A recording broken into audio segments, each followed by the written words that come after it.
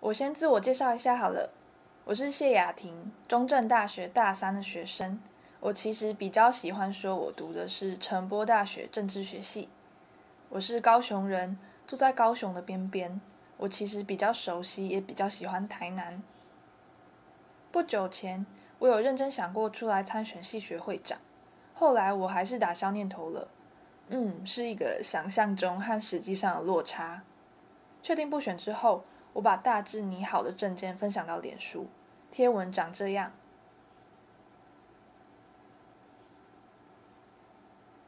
我在大学时期开始比较关心性骚扰与性侵害的事情，这可以从一位朋友的个人脸书贴文讲起。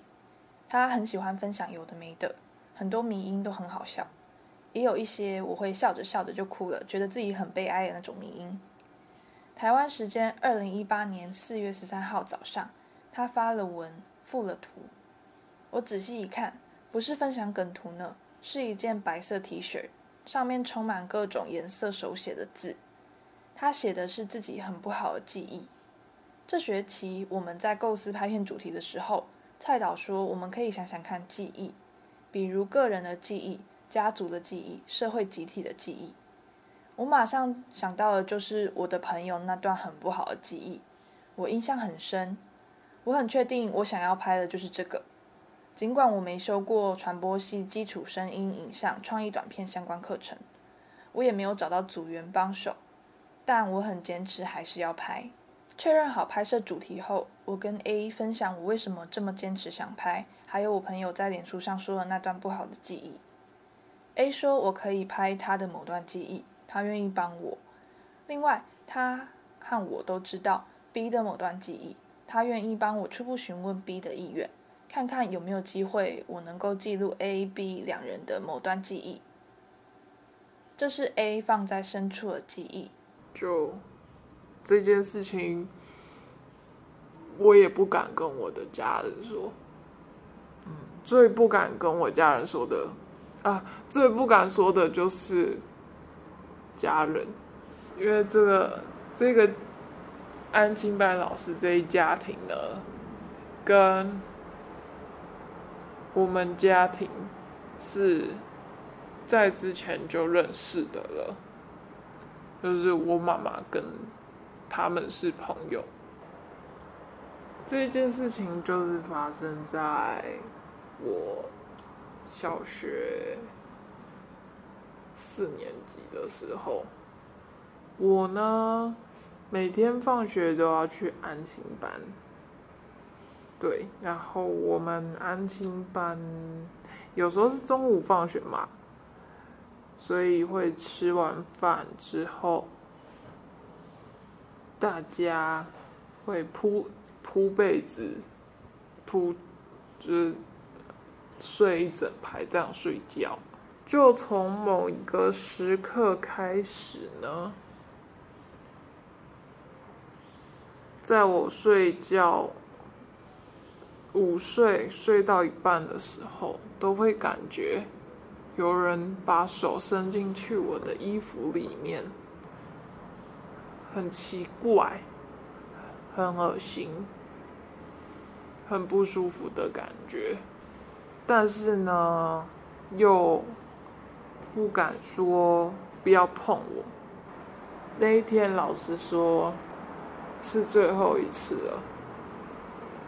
我那时候根本也不想要，他就嗯怂恿说：“好啦，最后最后一次嘛，最后一次。”那时候也是午睡的时间，他就叫我去一个。黑暗的房间，对，用像是用生殖器官磨蹭。我的脑海中一直有一个一句话，就是要给大人面子。这句话我觉得影响了我很多，就是要给大人面子。也可能是因为我就是想当个好孩子。因为是大人，而且那时候也没有人教我要怎么拒绝。那时候性侵、性骚扰这些，在学校还没那么重视。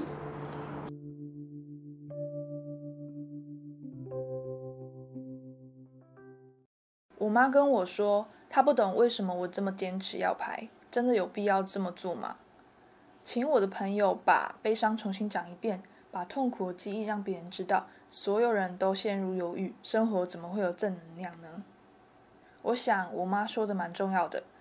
A 其实把他的记忆放在深处，平常不和他人提起，他目前的情绪和生活各方面都自己掌握，不会缺乏安全感或是成就感，生活过得还不错。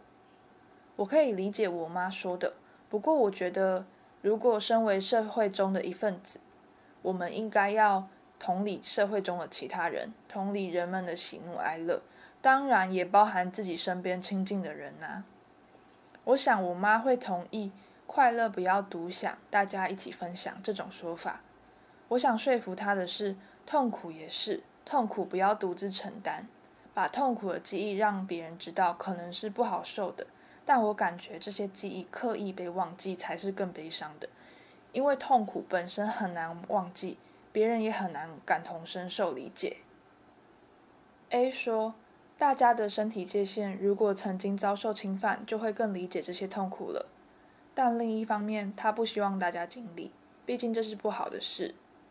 他现在的生活很好，他愿意让我在记录短片中使用他的痛苦记忆的重要原因是。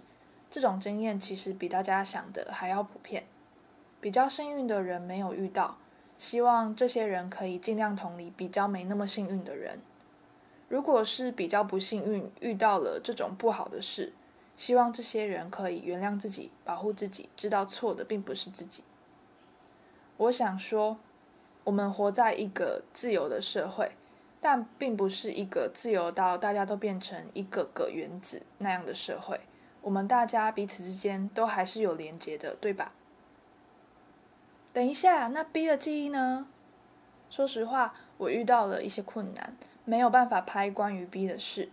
旁人有提醒我要重新评估自己是否有能力，是否有时间，还有更重要的是，自己拍了对 B 会不会造成负担或是困扰？